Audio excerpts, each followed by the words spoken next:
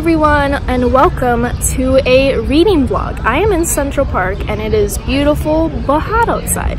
And I am reading, wait for it, wait for it, Ninth House. And I am a hundred pages in. I started this reading vlog very late into the book because I knew this would take me a long time to read. If you do not know what Ninth House is, this is Leigh Bardugo's kind of delving into the world of adult literature and she is writing a fantasy book. It is about a girl named Alex who goes to Yale after surviving a homicide and she gets kind of trapped into this secret society where they prey on the living, they prey on the dead, she sees ghosts, there's a bunch of occult activities. It's great, it's a really great book. I will admit that the beginning is a little slow for my taste, but I know that's how Leigh Bardugo works, so I know it's going to get a little bit better. So I'm going to be reading hopefully a lot of pages in Central Park because it's really nice, it's really peaceful here. So hopefully I could get deeper into it, give you an update because right now all I have to say is I feel like there's a lot of info dumping, not in a bad way, but like it's a little bit slow. I will say that. So let's see if I could get any reading done here. Hopefully I will because there's not a lot to distract me here. I forgot to also add, I'm here with Roxana. Oh god, my face looks bad. we are in Central Park reading. Oh god, it's so it's so sunny out. It, it's a good time. What are you planning on reading? Um, maybe this one. Truly Devious? Maybe. Maybe. We don't know yet. We'll decide. We're indecisive. We'll update you. okay, so I'm up to page 200 in Ninth House, and things are picking up. Things are much better than the beginning, which was a little bit slow. So much is happening. I can't tell you any of it because that would be all spoilers, but ghosts are fighting and like Halloween parties are happening. It's crazy. It's it's a time. It's it's very entertaining and I'm deep into it. I'm very excited to see what happens next. The book's about 500 pages, so we still have 300 pages left to go and I truly do not know what's going to happen next. Okay, I'm back with another update, literally like two seconds later. I read like one paragraph and I just hate how one secret society in, the, in this book is called the Book and Snake and I'm just like, out of all the words to use to describe a secret society, you choose Book and Snake?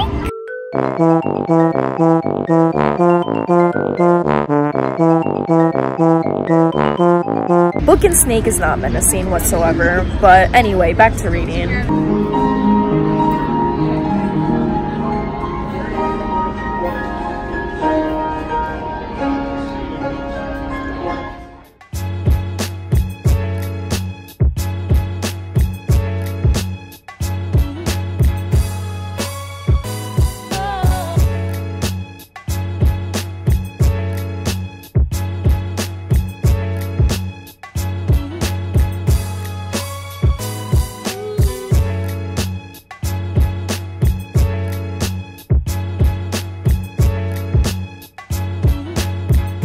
Hello everyone. Let's just get a load of this classic low angle shot.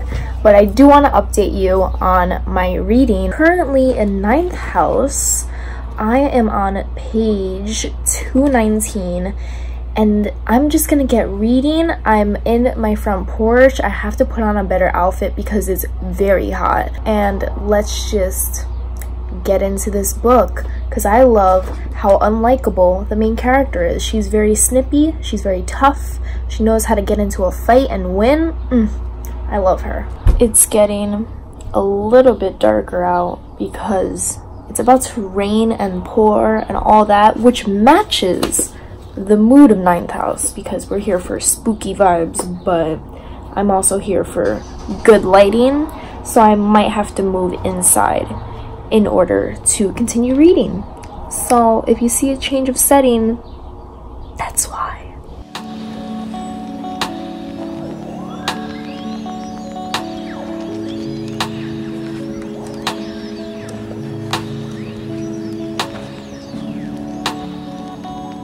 Hello, hi, and welcome to another day because your girl can't finish books within one day.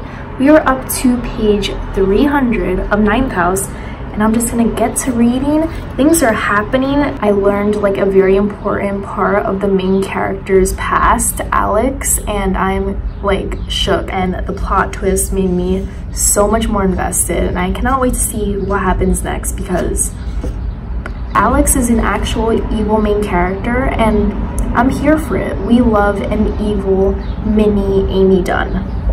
Hello, it's the next day, and last night I told you I was going to read Ninth House, but that was a dirty lie. Because after I filmed that specific clip, I texted Hannah telling her that I had a BTS song stuck in my head, and I like tweeted all about it, and so many people told me it's called Boys With Love, so I decided to listen to that song and then Hannah just kept on sending me BTS music videos and interviews and I fell down the BTS rabbit hole. I watched about three hours of BTS videos and I did not think I would end up liking the band so much, but their dances, their matching outfits, and like the set design and the editing of those music videos are phenomenal. Strictly from like an editing perspective, it's like the most beautiful thing I've ever seen from a music video and I just like fell down a rabbit hole and I learned what biases are and I learned what bias wreckers are. I'm learning so much BTS and K-pop lingo and I just love them so much and I've just been watching interviews and music videos and I've ruined my entire life and I did not expect this to happen but Today, we will read Ninth House. I have about a hundred pages left and I'm hoping I can finish it today. If not, I will finish it tomorrow, but it will happen. Ninth House will be finished.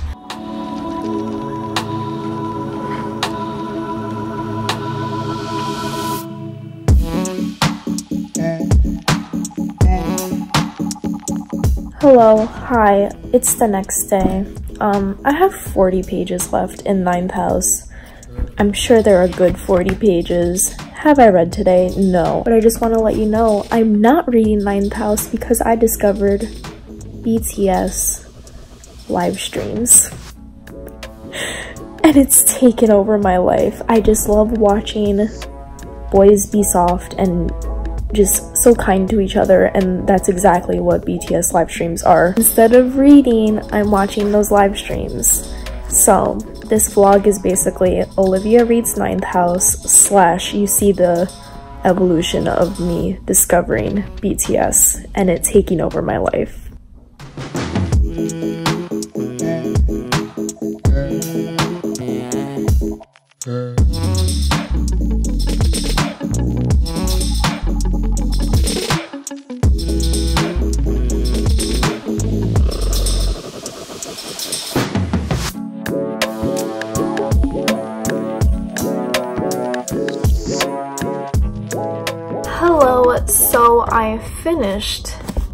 Ninth House. And I have, I I'm not sure what I would rate it. I, I've kind of steered clear of rating books lately because like I feel like my rating changes over the years and also I feel like ratings don't like encapsulate my whole feeling about a book. So I just want to say this isn't my favorite Leigh Bardugo book, but it was really fun and I also ended on a cliffhanger. So now I'm eagerly awaiting the sequel. I thought the beginning was a little bit slow, which is kind of the usual for Leigh Bardugo books. It always starts off really slow. There's a lot of world building. There's a lot of introduction to characters that you're kind of like catching up with and you're a little bit confused, but you're like on this ride and you're like, I kind of enjoy this ride, so I'm gonna be on it for a while. So in the beginning, it was very hard to get into. I will admit that. It took me a while to just dive into the world and into this society full of secret societies in Yale and while I feel like those worlds and those societies weren't really explored as much as I wanted them to, there was only like one society that really was explored. I did really enjoy it. I really enjoyed the main character, Alex. She did not give a crap about her morals. She did not care what other people thought about her. She was just a very go-getting evil main character that reminded me of Amy Dunne from Gone Girl and I just loved her attitude. It was really refreshing to see a bad main character, especially a bad main character that's a woman because we hardly ever see that in literature without her being judged and I like how she was just kind of evil and it was accepted and I thought that was a really interesting thing to explore in the book and I thought the societies were really cool. I just wish they were explained more because there were certain magical elements and certain spells and certain rituals that they did where I kind of felt like I was a little bit lost, like I wasn't sure what was really happening until towards the end when everything was tied together. But it was a really enjoyable book. I really enjoyed how intricate it was. And I also really liked the fact that we see a ghost throughout this entire novel and he kind of follows along with Alex throughout this story. And he's a very quiet figure because of course he's a ghost so he can't speak.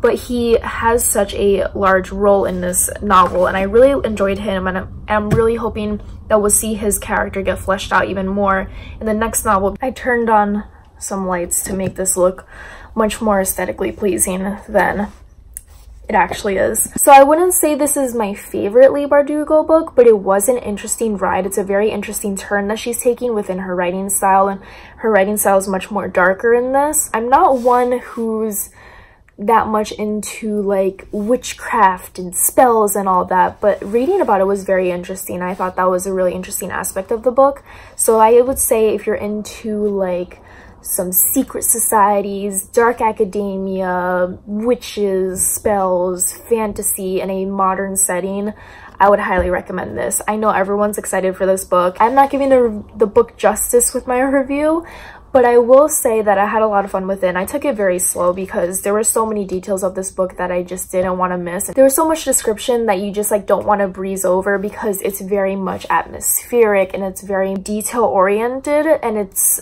not heavy on the dialogue, it's much more heavy in description. So it was something that I wanted to take slow. And I feel like the release date, which is October, is going to fit perfectly with the novel because of course it's very spooky and creepy and there's ghosts and there's murder and there's a murder mystery. And yeah, so I finished Ninth House. It happened. I also got into BTS within this week that I read Ninth House, which is just so many plot twists in this reading vlog. I did not expect the things that happened in Ninth House and I did not expect to fall in love with BTS, but here we are. Finished Ninth House and now I have a new obsession to just lose my mind over. But yes, I read Ninth House. It was a trip. I'm still processing, but this is like my, my immediate thoughts about the novel. I won't be like, I wouldn't say it's my favorite book of the year, so do with that information as you will. And I will not be giving a rating because I feel like ratings are so limiting now and I just feel like my ratings always change when I go back to my Goodreads and I'm like, I shouldn't have given it five stars. I should have given it four stars. So I'm not going to give a rating. I'm just going to say that like I really enjoyed it and I think that Leigh Bardugo is going into a very dark and eerie type of writing style that I'm really excited to see more of because she is the queen of spookiness. I had a lot of fun with Ninth House and I also had a little bit of issues with it so I'm going to leave off the vlog here.